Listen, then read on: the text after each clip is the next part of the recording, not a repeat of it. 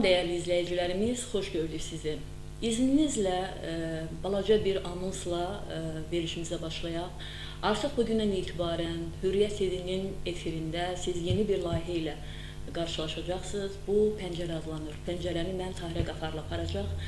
Bu pəncərədən hər bir kəs öz sözünü deyə biləcək. Bu pəncərədən ölkənin ictimai-siyasi nəbzinə baxılacaq və müzakirə aparılacaq. Təbii ki, müzakirələrin aparılması proseslərin daha aydınlığa çıxarılması üçün önəmli daşıyır və münasibətlər sisteminin qurulması üçün öz töhfəsini verə biləcək. Bu gün biz ölkədə sosial-ictimai siyasi vəziyyət və onun diktələri mövzusunda ə, müzakirə aparacağıq. Qonağımız ə, çox hörmətli filosof ə, Mən Sərdar bəy filosof kimi təqdim edirəm həmişə. Azərbaycan Demokrat Partiyasının sədri Sərdar bəy Cəlaloğludur.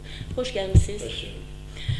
Sərdar bəy, istərdim elə birinci sualımıza ənənəvi hər zaman deyilən, lakin gündəmi tutan bir məsələ ilə başlayaq. Bu gün ölkənin ictimai-siyasi vəziyyətində nələr cərəyan edir və əsas etibarilə bu məsələyə sosial nəzər, nəzərlər necədir?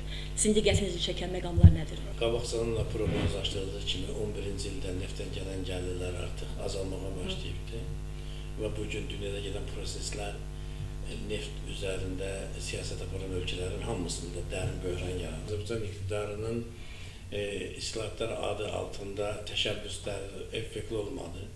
Cəmiyyətdə ciddi fundamental sosial-iqtisadi dəyişikliklər gətirib çıxartmalı. E, və təbii ki, e, at yapıda baş verən bu böhran üstə də, yəni mənəvi dəyərlər sistemində, siyasi sistemdə də çox ciddi böhrana gətirib çıxır. Birinci növbədə Azərbaycan iqtidarında dərin parçalanma, ayrılmalar var. Eləcə də Azərbaycan cəmiyyətinin özündə çox ciddi qarşıdurma əhval-ruhiyyəsi formalaşdırılır, həm də bu istiqamətdə proseslər inkişaf edir. Eləcə də Azərbaycan müxalifətinin özündə həmrəylik, bir araya gəlmək kimi çox ciddi problemlər var. Yəni bir mənalı şəkildə demək istəyirəm ki, Azərbaycan həm iqtisadi, həm mənəvi, həm siyasi həm də sosial böhran yaşayır. Məsələn, cəmiyyətdə artıq xalqımız üçün xarakterik olan və bizim bütün dünyada bizim qürur mənbəyimiz olan milli dəyərlərimiz demək olar ki, aşılanmışdır. Dini dəyərlər aşılanmışdır. E, ümumi humanist dəyərlər hansı ki, bütün insanlığa xas olan dəyərlərdir ki, bu dəyərlər ədalətli, bərabərlik, azadlıq, bu kimi dəyərlər demək olar ki, arxa plana keçmişdir və beləliklə faktiki olan dəyərsizləşdirilmiş bir mühitdə insanlarımız yaşayır. Bu da çox ciddi problemlər yaradır. Məsələn, bu problemlərin biri qarşılıqlı yardımlaşma. Düzdür, e, sosial şəbəkədə ayrı-ayrı sosial qruplar yaradılıbdır bu qarşılıqlı yardımlaşma ilə bağlı, amma bütünlükdə cəmiyyəti bu həyata eləmir. Milli həmrəylik olduqca aşağı səviyyədədir. E, istər iqtidar müxalifət münasibəti, istərsə cəmiyyətdə insanlarımız arasındakı münasibət e, rəqabət mühiti olmadığına görə daha çox düşmənçilik və şəx şəxsi qərəzlik mühiti əsasında inkişaf edir. bu da Azərbaycan üçün heç də yaxşı gələcək vəd eləmir. Və burada digər bir ciddi problem ondan ibarətdir ki, ölkədə sosial-iqtisadi vəziyyəti olduqca ağır olmağına baxmayaraq bizə həm də yerləşdiyimiz geopolitikada baş verən çox təhlükəli bilirsiniz proseslər gedir. Xalqın bu böhrana və geopolitikada baş verən hadisələrə reaksiyası adekvat deyil. Hı -hı. E, faktiki olaraq ə, sosial reaksiya olduqca kütləşibdir. İnsanlar özlərinin yoxsullaşmasına, işsiz qalmasına, hüquqlarının tapdanmasına, eləcə də ə, həmvətənlərinin problemlərini olduqca laqeyddir. Bütün dünyada xalqlar birisi böyük bir rəqabət içərisində öz gələcəyini qurmaq, qarşıdan gələn yeni dünya düzənində özünə məxsus bir yer tutmaq uğrunda mübarizə aparır. E, Cənubi Qafqazda 3 respublika qonşuyuq Gürcüstan və Ermənistanda baş verən proseslərlə Azərbaycana gedən prosesləri biz müqayisədə görəcəyik ki, biz həm Gürcüstandan, həm də Ermənistandan bəlkə də bir 10 il, 15 il geriyə getmişik. Siyasi aktivlik baxımından, öz taleyimizi müəyyən etmək baxımından artıq Gürcülər öz taleyini müəyyən ediblər, onlar artıq Avropa inteqrasiya xəttini tutublar, Rusiya ilə münasibətləri bir mənaşə müəyyənləşdiriblər, keçmiş imperial əlaqələri qırıblar. Ermənilər bu istiqamətdə cəhd edir, baxmayaraq ki, Ermənistan xalqının və dövlətinin maraqları böyük həcmdə Rusiya ilə əlaqələrdən asılıdır. Amma Azərbaycan faktiki olaraq nə Rusiya ilə əlaqələrini kəsibdir, nə də yeni dünya düzənində öz yerini müəyyənləşdirmə istiqamətində konkret bir mövqe ortalığa qoyur. Bu həm Avropa Birliyinin əməkdaşlığına aiddir, həm strateji müttəfiqimiz olan Türkiyə ilə münasibətlərə aiddir, həm də bütünlükdə qlobal güclərə münasibətlərdən Azərbaycan sanki gözləmə mövqeyindədir, amma bir şey unutmaq olmaz ki, biz gözlədikcə başqa xalqlar irəliyə doğru gedir və biz gözlədikcə geriyə gedirik. Yəni bu sosial hadisələrdə elə bir şey yoxdur ki, siz bir nöqtədə dursaz və həmin nöqtədə qala bilərsiniz. Sosiologiyada ya irəli gedirsiniz, irəli getmirsə, deməli geri gedirsiniz. Sərdar bəy, siyasi, sosial ictimaiyyətin siyasiləşməsi məsələsini ortaya qoyursunuz. Bu siyasiləşmə nə dərəcədə təhlükəlidir və nə dərəcədə ölkənin inkişafı üçün xeyir verə bilər? Əvvəla uzun illər Azərbaycanda siyasət haqqında xalqımızda yanlış belə bir rəy formalaşdırıb ki, bu siyasətçilikli bir sənətdir, bu siyasətə qarışmaq lazım deyil. Məsələn, cəmiyyətə çıxın küçədə kimdən siyasətlə bağlı soruşsa, deyəcək ki, mən siyasətə qarışmıram, siyasət pis bir şeydir.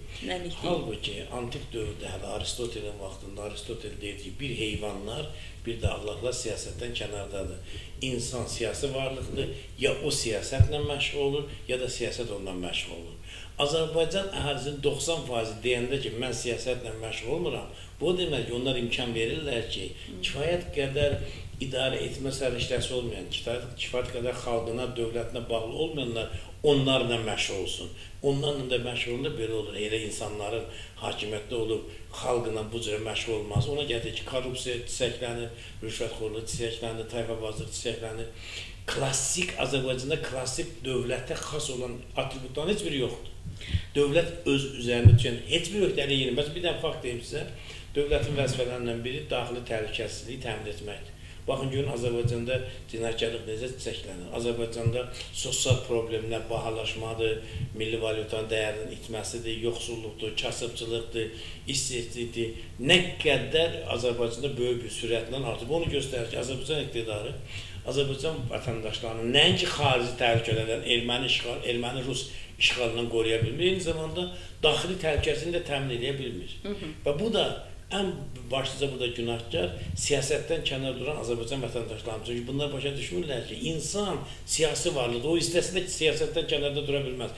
Hətta bu gün siz avtobusa minib 5 qəpik yol pulu verirsiniz, sabah gəlirsiniz ki, o 10 qəpik olub, bilməlisiniz ki, bu da bir siyasət. Və siz bu siyasətin hədəfisiz, obyektisiniz. Ona görə də kim ki deyir ki, mən siyasətlə məşğul olmuram, o, o adam o deməkdir ki, taleyini hansı adamlara həvalə edib və o adamlar ona qul kimi, kölə kimi münasibət bəs öz bildiyi kimi idarə edir. Aha, siz ə, e, hər zaman Sərdar bəy müsahibələrinizdə vətəndaşı bir növ ə, e, təqsirli bilirsiniz ki, o siyasiləşə bilmir. Amma onun siyasiləşməsi üçün müəyyən elementlərin olması vacibdir. O nədir? O, və o, nə çatmır ki, üzr istəyirəm, nə çatmır ki, bu vətəndaş artıq öz problemlərinin həlli üçün müzakirələrə qoşulmur? Azərbaycan vətəndaşları çox təəssüf ki, dəyər daşıyıcıları deyil. Əs əslində baxsan, o siz deyirsiniz ki, vətəndaş cəmiyyəti, vətəndaş və s. Vətəndaş kimdir? Vətəndaş siyasi dəyərlər daşıyan insan deməkdir yəni dövlətlə əlaqələrdə öz öhdəliklərini, öz vəzifələrini başa düşən, öz hüquqlarını başa düşən, dövlətin qanunlarını şuurlu şəkildə münasibət bəsləyən insan demək. Azərbaycan vətəndaşları nə öz hüquqlarını bilir, nə də Azərbaycan qanunları çərçivəsində fəaliyyət göstərmək istəyirlər.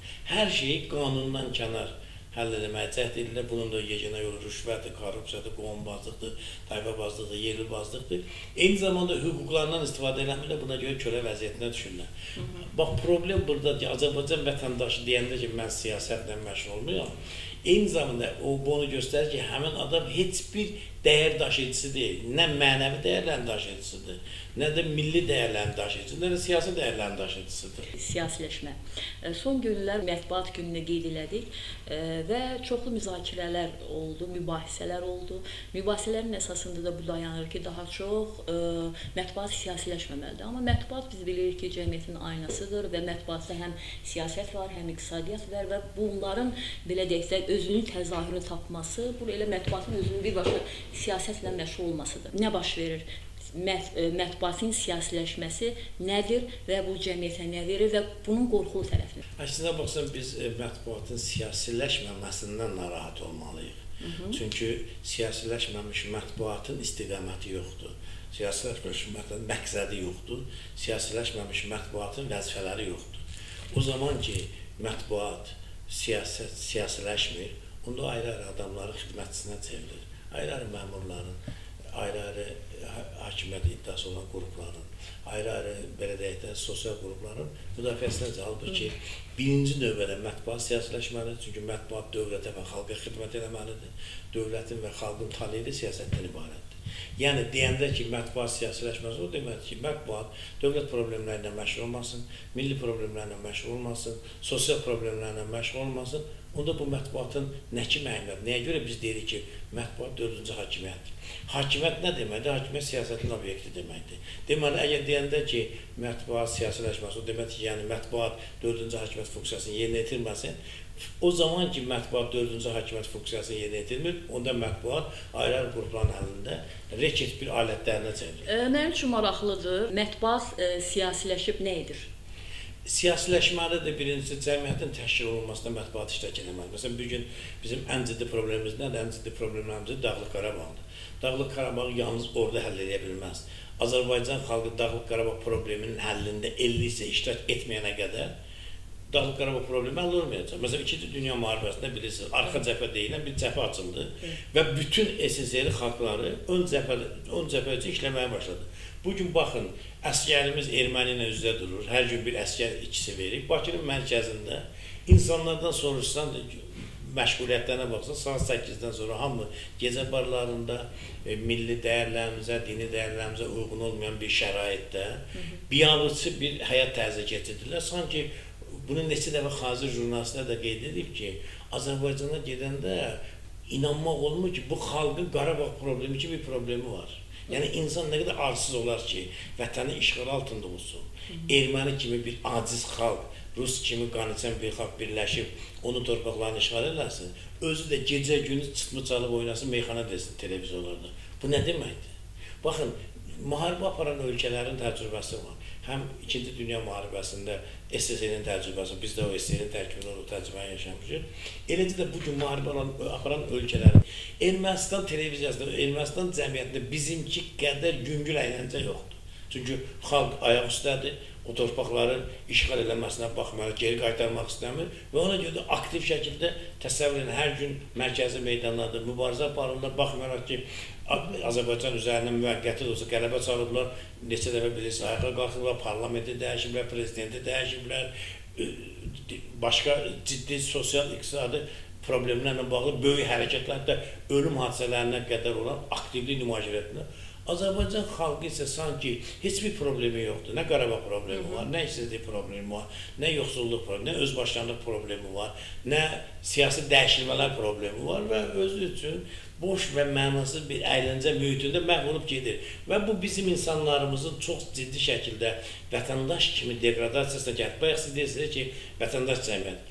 Bəli, bütün dünyada ölkələrin gücü vətəndaşların gücü ilə bağlıdır. Amerikalı, bir Amerikalı ilə siz bir Azərbaycanı yan-yana qoyun, onların şuuru, öz ölkələrin maraqlarına münasibəti, öz ölkələrinin ictimai siyasət iştirakına baxın, onda görəcəksiniz ki, Amerika niyə görə güclüdür. Bəlkə... Amerikanın gücü, Amerika vətəndaşlarının gücüdür. Amerika elə beləncə güc bəli, deyil. Bəli. Orada hər bir Amerikanlı həyatı bahasına Hətta Amerikada neçə min kilometr uzaqda belə bilirsiniz, Koreyada, Vyetnamda, digər yerlərdə, bu gün Afqanistanda Amerikanlar ölür. Niyə? Amerikanın maraqlarını qorumaqla. Azərbaycanlılar Qarabağda Azərbaycanın mərkəzində gedən münaqişədə ölməyə hazırdırmı? Bax, güc bundadır, vətəndaş budur. Sərdar bəy, bu vətəndaşlar, mən inanıram və siz də onu dəfələrlə qeyd edirsiniz. Təbii ki, ölkənin azadlığı, torpaqların işğaldan azad olunması, hərbi gücün olması bu var, hazırdılar. Sadəcə bəs bu xalqı, bu vətəndaşı yönləndirəcək liderlər hardadır? Bu varmı? Bizə bir şey deyim ki, müharibəni nə texnika ilə unutmaq olar, nə əskərin, nə bir müharibəni yalnız əqidə ilə unutmaq olar. Hı -hı. Bir insan əqidə ilə silahlanıbsa, əlində heç bir silah yoxsa o güclüdür. Bir insanın əqidəsi yoxsa əlində lap atom bombası varsa o çox zəifdir. Eləcə də dövlət. İdeoloji dayaqlara əsaslanan bir dövlət olduqca güclüdür. İdeologiyası olmayan bir dövlət demək ki, dövlət deyil. Azərbaycanda konkret olaraq dövlət səviyyəsində heç bir ideologiya aparılır, milli ideologiya yoxdur. Eləcə də vətəndaşlarda əqidə deyilən bir şey yoxdur. Və bu baxımdan ay nə bilim bizim hərbimizin maliyyə vəsaitimiz artıqdır. Nə bilim bizdə ə, əsgərlərin təchizatı belə zəngindir. Biz ən müasir silahlar almışıq. Bunların heç biri qələbəni təmin etməyə kifayət eləməz ta ki sizdə əqidə olmaz. O əqidə nədən ibarətdir? Torpaqları azad etmək iradəsi, ə, düşmən qarşısında dik dayanmaq iradəsi. Bu gün Azərbaycan vətəndaşları yarışmalıdır ki, ön cəbhə oğlumu göndərim. Amma baxın görün, reallıqda necədir? Hamı çalışır ki, uşağı əsgərliyə getməsin ya da ön cəbhəyə getməsin. Sərdar bəy, siz e, bir müxalifətçi, müxalif partiyanın liderisiniz, amma bir e, məsələni, bir nüansı deməliyəm. Belə qeyd olunur ki, müxalifət partiyaları arası e, partiyaları barədəki zəifdir, gücsüzdür, zavallıdır. Bu zavallı, zəif, gücsüz olan müxalifət varsa, bu vətəndaşı, bu insanları toparlayacaq öz arxasınca aparacaq qüvvə hardadır? Eyni epitetləri biz hakimiyyət haqqında deyək. Hakimiyyətimiz olduqca zavallıdır, olsa gücsüzdür, ol- olduqca düşündür. Ən zəif dövlətin qarşısında belə e, diz üstədir. Məsələn, erməninin qabağında məğlubdur, Gürcü. Gürcü gəlir sərhəddə bizim əskərin əlindən silahını alır. Bilirsiniz? Bəli, bəli, o məsələyə də Bu qayıdırıq. bir biabırçılıqdır. Rus Azərbaycana gəlir, Putin deyir ki, Azərbaycan dilində məktəblər bağlayın, yerinə rus dili məktəblər alsın.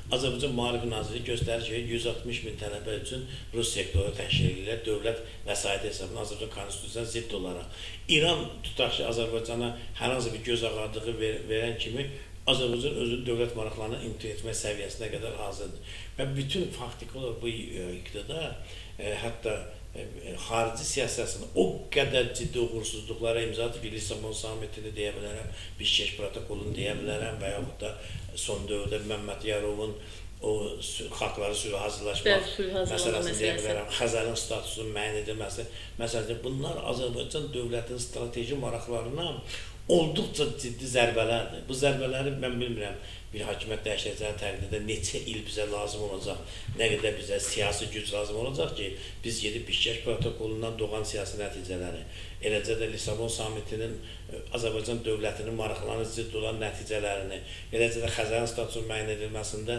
strateji maraqlarımıza dəyən zərbələrin kompensasiya ilə onu aradan qaldırır. Hələ bunun neçə il olacağını biz müəyyənləşdirə bilmirik. E, Sərdar bəy, belə bir yəni iqtidarla bağlı, yəni hakimiyyətin apardığı siyasətlə bağlı müəyyən çıxışlarımız olanda çalışacağıq ki, bir qarşı tərəfdən də e, insanlar olsun, şəxslər olsun və bir e, belə deyək də üzdə dayanmaqla polemikalar mümkün olsun. Bu burada bir e, yəni qarşılıqlı e, müzakirələr getsin. Amma bu gün siz müxalif nümayəndə olaraq ona görə müxalifətdən deyəcəm. Müxalifət niyə toparlana bilmir və niyə görə e, insanların e, belə deyək də iddialarına bax, istəklərinə baxmayaraq hələ də e, belə deyək də e, həmin o basaqlıqda basaqlığı qoruyub saxlayır.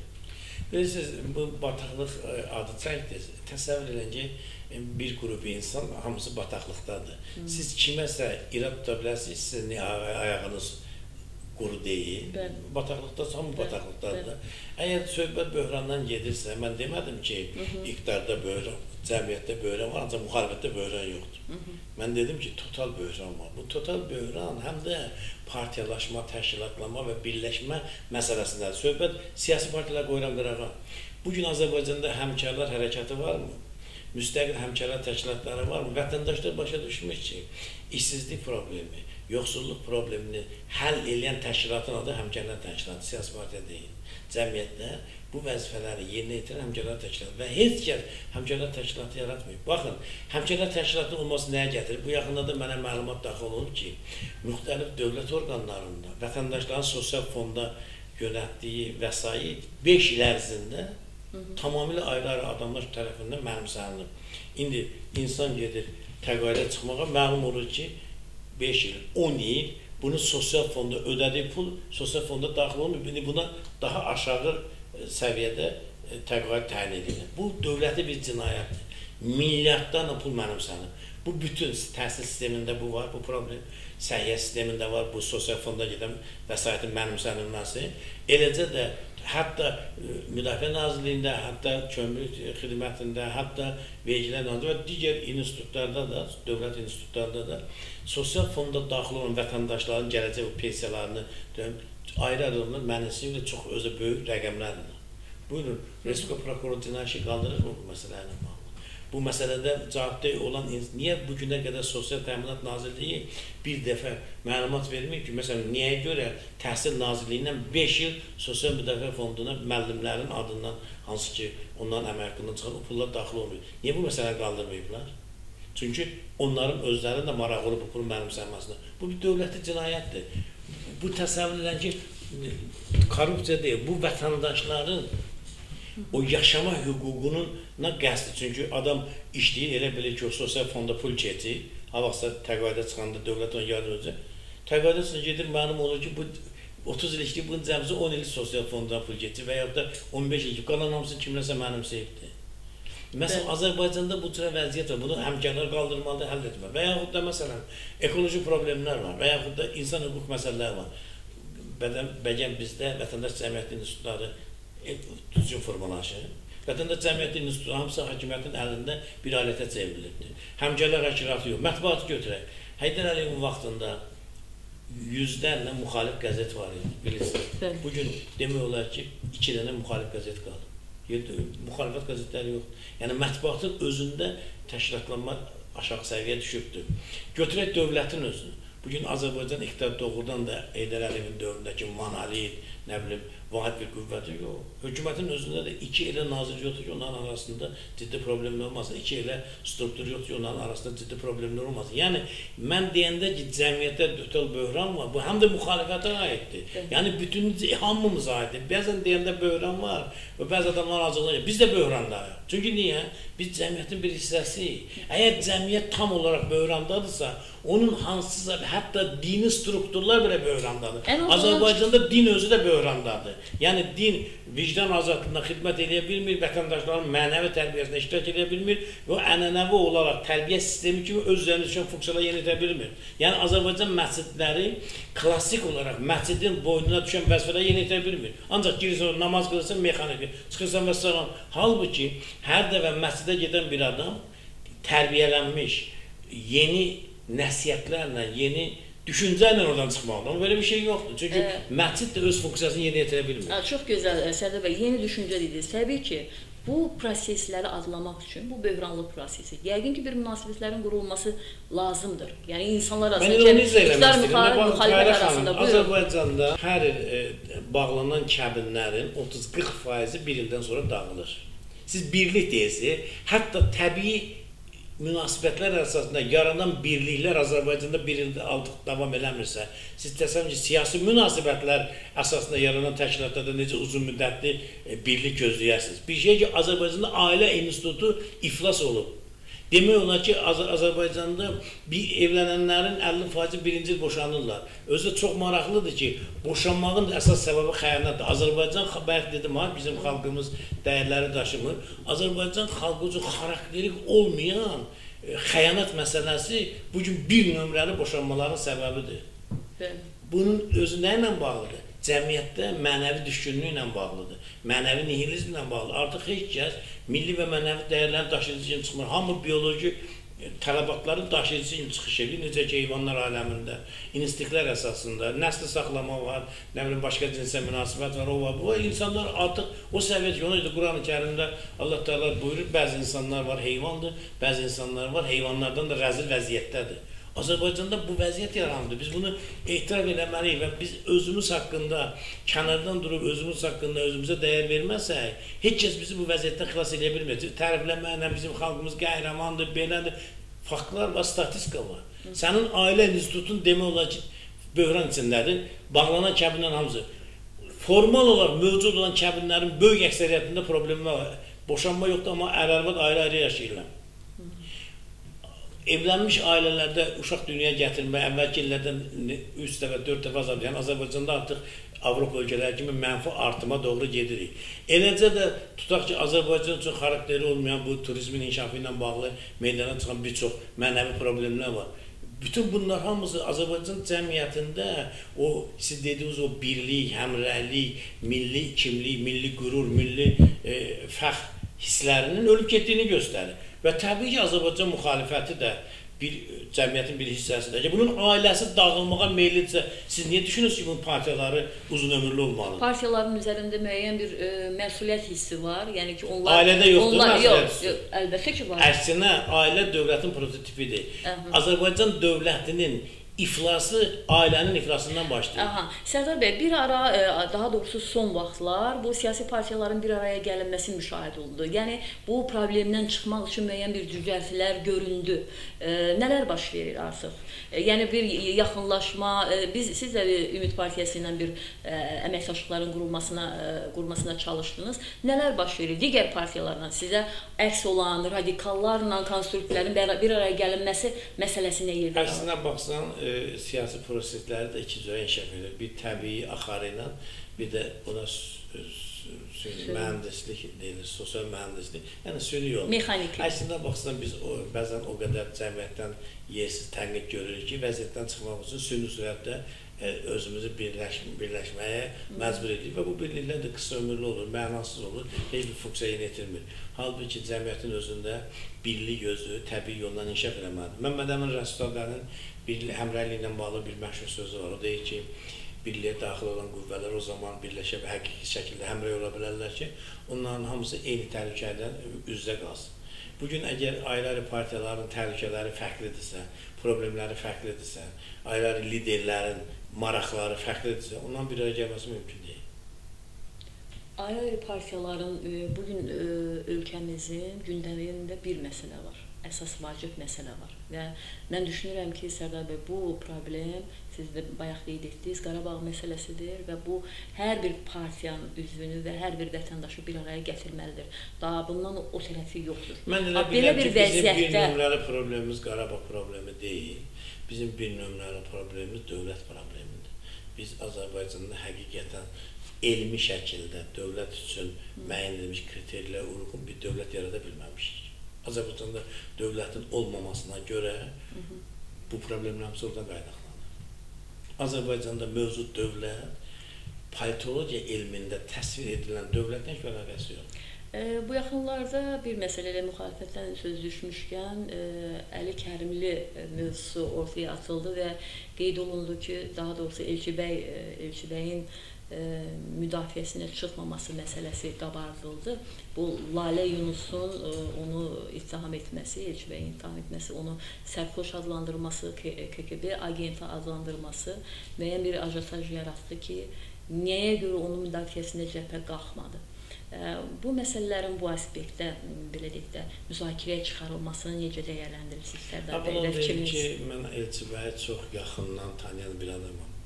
Onun təşkilatında olmasam da çox böyük ünsiyyətimiz oldu. Prezident olanda da, prezident olmamışdan qabaq da, xalq hərəkatından qabaq da, hakimiyyətə gedəndən sonra da yenidən gəlib müxalifətə qoşulandan sonra Elçibə ilə iki, ikilikdə olduqca çoxlu söhbətimiz olub.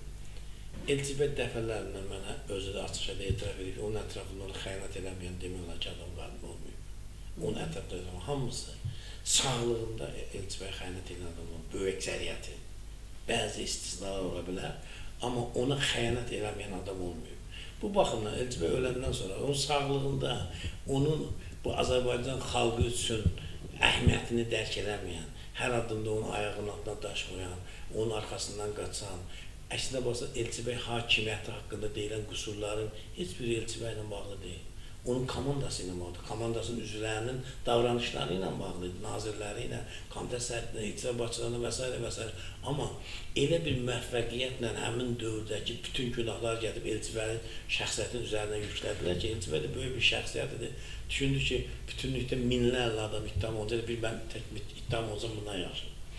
E, hətta mən açıq deyib Elçibənin hakimiyyətə getməsində, hakimiyyətdən getməsində belə onun hakimiyyətində təmsil olan insanların çox müstəsna rolu ə, hədəfdə Əli Kərimlidir.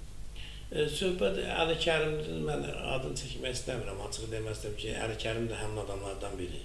Əli Kərimli Əfəzəçi və iqtidarında nə belə qüdrətli bir yer tutub, qısa bir müddət əli 2-3 aylığa dövlət katibi, o dövlət katibi vəzifələrini dərk eləyənə qədər də vaxt gəldi ki, hakimiyyət deyildi. E, Əli Kərimli bilirsiniz, yurt təşkilatı yaratmışdı əvvəlcədən. Xalq hərəkatının içərisində Elçibəydən fərqli bir siyasi xətt aparırdı. Eləcə də AXC birləşəndən sonra da AXC partiya çevriləndən sonra Əli Kərimli Azərbaycan Xalq Cəbhəsi partiyasının tərkibində tamamilə fərqli bir siyasət apardı. Məsələn, bir konkret fakt deyim, 98-ci ildə Əfəz Elçibə Sisunun lideri kimi bir çox qrup, bir çox 30-a yaxın partiya prezident seçkilərini biz boykot edirdik. Onun Əli Kərimli Əfəz Elçibə müavini kimi bəyanat verdi ki, axıncı seçkiyə gedir və Etibar Məmmədov seçkilərdə müdafiə edir. Çox, onda biz Elçibə bu xəbər Elçibəyə çatanda onun siz reaksiyasını görsəydiniz, çox dəhşətli bir reaksiya verdi. Hmm. Və çox böyük çətinliklə Elçibə o vəziyyətdən çıxdı və o bəyanatı da ləğv elədilər. Təsəvvür edin ki, sağlığında sədr burada seçkilərin boykot edilməsi işini təşkil edir, müavin isə seçkiyə getməklə bağlı qərar qəbuli bəyanat verir. Yəni təkcə bunu mən yəni mövzumuzun yəni, qaba, üzərində bəli, bəli, onun üzərində deyil, bəli. Elçibəy mən də müdafiə etməliyəm. Hmm. Biləsiniz. Elçibəy sadə Azərbaycan vətəndaşı da müdafiə etməlidir. Kim ki müstəqil Azərbaycanın dadını bilir. O Məmməd Əminin bir sözü var, azadlığın şirin dadını kim ki tamam dada bilir. Hər bir adam əfraz etsin və müdafiə etməli. Çünki kimin nə deməyindən asılı olur. Leyla Yunus nə dedi, Əsər Şəhzədə nə dedi, Əli Kərimli nə dedi, İsa Qəmbər nə dedi. Bundan asılı olaraq Elçi bəy bizim hərəkatın lideri olubdur. E, bu hərəkatın lideri kimi hakimiyyətdə təmsil olunmaq haqqı qazanıbdır. Elçi bəy məğlubiyyəti konkret olaraq Azərbaycan kontekstindən baxanda doğrudan da elçimənin zərrliyi kimi gəlir. Amma bir qədər kənardan çıxıb keçmiş İSM məkanında həmin dövrdə gedən bütün hadisələrə baxsan, görəsiz ki, ən müvəffəqiyyətli siyasi gedişatı yenə Elçibə idi. Çünki Qamsaxurda eyni ilə Elçibə kimi, Şiqardasın adamlar Qamsaxurda yıxmaq istədilər. Biz də Heydər Əliyevin adamları Elçibə yıxan kimi. Orada müqavimət göstərdi. Birisi qırğın oldu. Qamsaxurdan öldürdülər. 200 nəfər də ətrafdakı adamlar qırıldı. Xeyli gürcü qırıldı. Əfəz etmə buna imkan vermədi. Eləcə də Lev Valensiya bir, bir Porsche-da baxmayaraq ki, Porsche bizdən çox-çox daha azad bir e, insanlar da azad idi, ölkədə kifayət qədər azadlıq istər güclüdür. Bir ildən artıq Lebanon bir seçkidən artıq qala bilmədi. Qabili götürək. Yəni Elçi bəyin e, hakimiyyətdən getməsi o bilirsiniz o tərəqqinin e, tərəqqinin dalğavar inkişafı ilə bağlı oldu. Yəni irəli getdi, sonra geri kimi o proses təsəvvür mən elə bilirəm ki, Elçi bəy həmin dövrdə hadisələrin qansız qadasız getməsinə, Rusiyanın təzədən azı. Həmin dövrdə LTB müqavimət göstərsəydi, ölkədə qanlı toqquşma olsaydı, mütləq Rus qoşunları Azərbaycana gələcəkdi. Mütləq xarici müdaxilə olacaqdı. Mütləq Azərbaycan əlavə torpaqlarını itirəcəkdi. Mütləq qan düşəcəkdi. Bu günə qədər davam edən daxildə çəkmələr olacaqdı. Amma LTB çox böyük o e, müqavimətin e, demokratik e, mübarizə üsullarından biri də passiv müqavimət. Passiv müqavimət yolu seçdi. Hı -hı. Yəni faktiki olaraq nə təslim oldu, nə də aktiv şəkildə düşmənin üstünə getdi və beləliklə Azərbaycan xilas edir. Leyla Yunusun Əbfəz Elçi bəy haqqında söz demək mənəvi haqqı yoxdur. Birincisi Leyla Yunus özü də Əbfəz Elçi bəyin rəhbərliyi altında Azərbaycan Xalq Cəbhəsi İdarəyyətinin üzvü olub. Müdafiə Nazirliyinin sonra Əbfəz Elçi bəyin əmri ilə Müdafiə Nazirliyində bəli işə işləyib.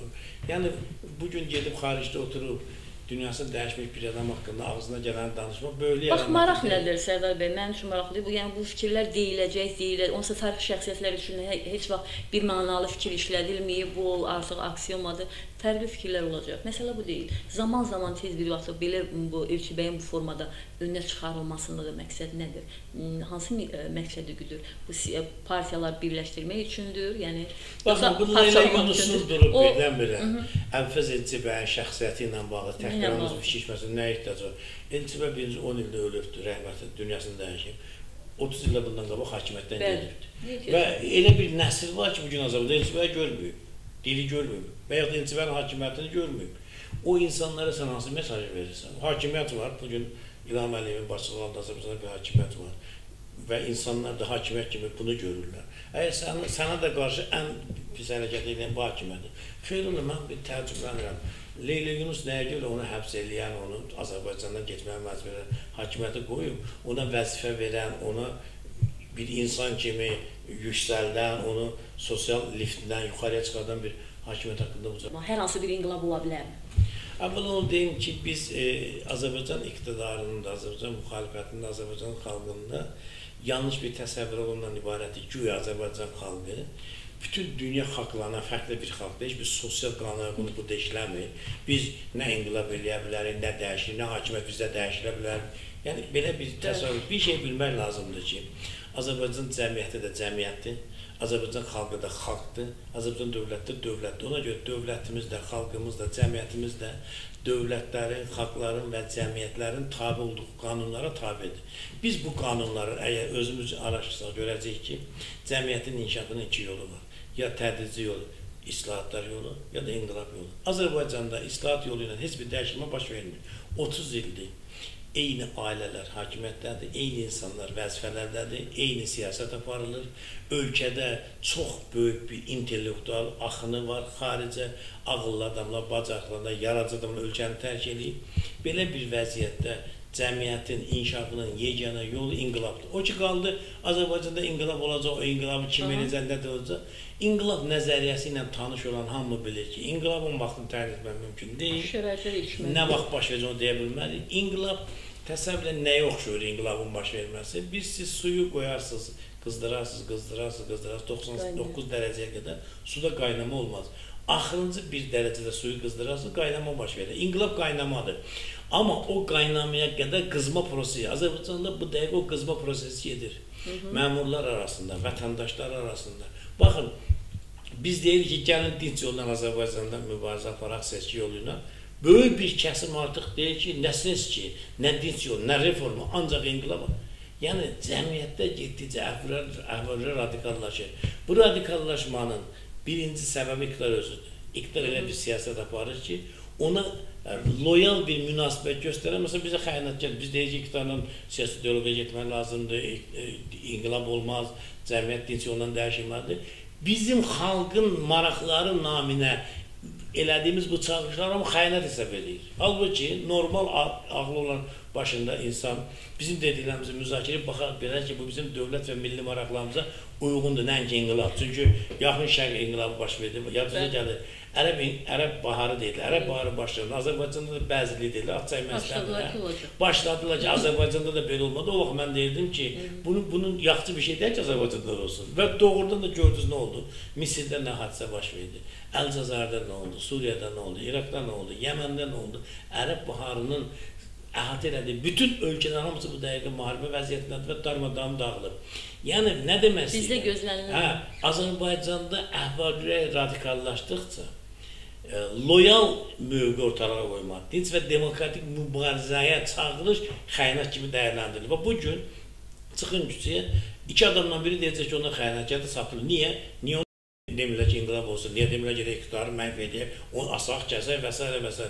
Cəmiyyəti bu cürə radikallaşdırmaq, onu radikallaşdıranların öz əleyhinədir. Oktyabr inqilabının təcrübəsi göstərdi, eləcə də İran inqilabının təcrübəsi göstərdi ki, bu inqilablarda, işte, hətta Paris kommunikasının təcrübəsi göstərdi ki, inqilablar belə bir məşhur öz övladların yeyir. İnqilabın başında duran adamların hamısı həmin inqilabın qurbanlarına çevrilir sonradan güllələndirlər, öldülər və s. Ona görə də Azərbaycanda inqilab e, eləyək ifadəsi nə ola qədər bilərmi? Cəzb edir ki, ola bilərmi? Mən də deyirəm yox, ki, ola bilərmi yox, yaxınlarda gözlənilir. Bu yaxınlarda? Lenin bilirsiniz, sosial inqilab nəzəriyyəsinin banisidir, müəllifidir. Leninlə 1917-ci ildə avqust ayında sizin kimi bir jurnalist sual verir ki, oktyabr inqilabı, sosial inqilab nə vaxt baş verə bilər? Lenin deyir ki, bizim nəslimiz görməyəcək bu inqilabı. 2 aydan sonra inqilab baş verir. Və biz burada danışırıq. Yarım saatdan sonra çıxa bilər ki, Azərbaycanda inqilab başladı. İnqilab qəfləti baş verən hadisədir. Bu sözün mənası o deməlidir. Revolution sözünün mənası qəflətən baş vermə, partlayış deməkdir. Yəni onu kim təyin edə bilər ki, nə vaxt o partlayacaq? Ə, təşəkkür edirəm Sərdar bəy. Ə, maraqlı müsahibədir. Ə, kəsmək istəmir insan, istəyir ki, qulaq assın. Amma bir ə, sualım da var. Ə, bayaq Keşikçi dağdan danışdıq. Artıq ora ə, Azərbaycan hərbi hissələri də yerləşdirilir və Gürcüstan tərəfinin bundan narahat olduğu da qeyd olunur. Bu yaxınlarda Eldar Namazov da Gürcüstandan gəlir və ictimai təşkilatlarla görüşüb orada və ə, Eldar Namazov bildirir ki, orada təkliflə çıxış edir. Belə bir təklifdir ki, ə, ə, həmin o Keşikçi dağın ərazisi müştəri müştərək istifadə olunsun, müştərək qorunsun. Bununla bağlı fikirləriniz deyərsiniz. Əvvəla burada o bu cür hadisələrin arxasında heç də niyyət, orada bir tarixi abidə var, biz o tarixi abidə eləyə qalsa, Tiflis Azərbaycan şəhəridir. Evet. Tiflisdə Şah Abbas məscidi var, Şah Abbasın birisi hamamı var, Şah Abbas körpüsü var. Minlərlə Azərbaycan türkünə aid abidələr var. Ona görə Tiflisi də ortaq bir şəhər eləyir. Azərbaycan dövləti də Tiflisin idarə olunmasında iştirak eləsin. Bu nə deməkdir? Bu dövlətçilik mənim ərazimdə Gürcün nə işi var? Dünyanın hansı ölkəsində ortaq idarə edir? Nəyi ortaq? Əvvəla o Gürcüstan ərazisində də o kilsə bizimdir. Çünki e, Çar Rusiyası dövründə kürəkçə müqaviləsindən sonra Azərbaycan ərazilərinin böyük bir hissəsi Gürcüstana bağışlananda bizim tarixi adı bu vəziyyətdə düşür. Əksinə Gürcüstan 400 il Azərbaycan protektoru olubdur. Bilirsiniz Şah, Şah Təmasibin altı arvadı üçü Gürcü knyazın qızıdır. İkinci Şahbasın anası Gürcüdür. Siz nə danışırsınız? Bu Gürcüstan dövləti, Gürcüstan bizim bir regionumuz olub, Qazax kimi, nə bilim, şey kimi. Çar Rusiyası Azərbaycanı işğal edəndə necə Ermənistan Bəli. dövləti yaratdı, ondan qabaq Gürcüstan dövləti yaratdılar. Bəli, Bu Gürcü knyazlığı olubdu. Knyazlıq da bilirsiniz, bu yəni bir dövlət statusunda olmuyordu. Sonradan ki o Azərbaycan ərazilərini ki verdilər Gürcüstana 1 milyondan artıq Azərbaycanlı qaldı Gürcüstan sərhədləri daxilində. Gürcüstan dö- döndərdilər dövlət elədi və Stalin dövründə Azərbaycanlıların ən çox deportasiya olunduğu ərazilərin biri Gürcüstan olub. Ay, 100 minlərlə Azərbaycanlı Gürcüstana deportasiya. Bu gün buna baxmayaraq bu gün yarım milyon Azərbaycanlı var Gürcüstanda və həmin kilsənin də yerləşdiyi ərazi Azərbaycan rayonlarıdır. Gürcülər indi orada ermənilər kimi Azərbaycan adlarını dəyişirlər, şəhərlərin, kəndlərin adlarını dəyişirlər. Azərbaycanlılar sıxışdırırlar. Mümkün qədər Azərbaycanlılara iş vermirlər, yer vermirlər. Baxın, Gürcüstanda 100 min bir 100 min sayı olan bir xalqın dili Gürcüstanda ikinci dövlət dilidir. Yarım milyon insanın dili orada qadağan olunur. Özünü deyir ki, Gürcüstan demokratik bir ölkədir. Mən orada e, keçən il mən də orada görüşlərdə olmuşam. Gürcüstan siyasi partiyaları hamısına görüşmüşük. Bu məsələni orada da qaldırmışıq. Bizim ən böyük faciəmiz nədən ibarət? Biz nə İranda Azərbaycan dilinin ikinci dövlət dili olmasını istəyirik, nə Gürcüstanda bunu tələb edir bizim Azərbaycan dövləti, nə də Az Azərbaycanın özündə hökumət elə bir siyasət edər ki, Azərbaycan burada ikinci dövlət dili olsun. Yəni bu qədər milli maraqlarımızı nə daxildə qoruya bilir, nə də xaricdə. Baxın, bu nə deməkdir? Gürcüstanlılar gəlib əsgərin əlindən avtomata. Bu nə deməkdir? Bəs bu keşişdə dayanan əsgərin axı nizamnaməsi var. O posta yaxınlaşırsa, atəş açıb onları öldürməli. Nəyə atəş açmayıb? İndi bunu heç kəs soruşmur və prezident soruşmur ki, mənim dövlətimin sərhədləri necə qorunur ki, adi vətəndaş gəlib əsgərin əlindən, bəlkə o erməni imiş, istəsə biz o gürcüdür. Aha. E, orada e, sərhəd qoşunları ilə bağlı e, qeyd edirlər ki, başqa bir e, belə yanaşma var. Bir neçə Nə yanaşma bir var? neçə dəfə xəbərdarlıq olmalıdır. E, Elə şey hətta, yoxdur. Hətta ən çətin vəziyyətdə belə onu, e, yəni ora Elə, yaxınlaşadan elə şey yoxdur. Bir Azərbaycan vətəndaşı Aha. o posta yaxınlaşardı, baxın gör necə güllələyərdilər. Söhbət bundan gedir ki, bu Gürcüyə, Gürcü erməni bizə qarşı ayağa qalxanda ona bir insanı, bu bir dövlətin zəhərliyi demək, dövlət sərhədində bu cür hadisənin baş verməsi dövlətçilik üçün qüsurdur, ayıbdır. Siz nə danışırsınız? Posta duran əsgərlərlə gəlib özü müharibə vəziyyətində olan bir ölkədə, hərbi vəziyyət şəraitində olan bir ordunun əsgəri necə əlindəki silahını bir vətəndaş gəlib ala bilər? Bəlkə elə alıb o silahını onu öldürəcəkdilər. Harda yazılıb ki, üç dəfə atəş açmalıdır, onu eləməlidir? Belə şey yoxdur axı. Bunlar hamısı gülü şeylərdir. Bu onu göstərir ki, Azərbaycan ordusunda ciddi problem var, sərhəd qoşunlarında ciddi problem var, özbaşınalıq var və sərhədlərimiz effektli qorunmur. Biz bunu belə dəyərləndirməliyik. Sabah orada 10 dənə Gürcü əsgər əlində avtomat, onda necə olacaq? Onda da bizim əsgər silah verməlidir onlara. Bəlkə ermənilər Gürcüstandan yenidən Gürcüstan arasında girmək, müdaxilə eləmək istəyirlər. Siz hardan bilirsiniz ki, adamlar Gürcüdür, ora gəlib çatmayana qədər? Ona görə də mənə elə gəlir ki, nə ad qoymasından onlara bu çox böyük bir pozordur Azərbaycan dövləti üçün. Bunun üçün bax nazir istefa verməlidir.